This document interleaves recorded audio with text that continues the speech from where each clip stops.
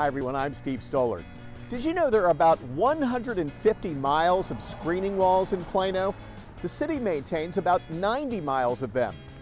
Three miles of these walls are rebuilt every year. Our Public Works Department performs inspections on all screening walls every three to five years. When citizens request repairs or replacement, crews are sent out to investigate. If the wall's underground foundation has issues, it may be scheduled for repair as part of a future engineering project, which is paid for out of bond funds. If the screening wall meets the city's criteria for replacement, it goes on a long waiting list.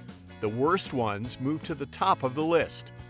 Public Works and Engineering currently have 88 walls that need repairs.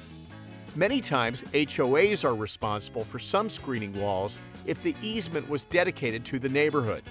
Almost all new HOAs own their screening walls. Public Works can only repair about 20 screening walls a year.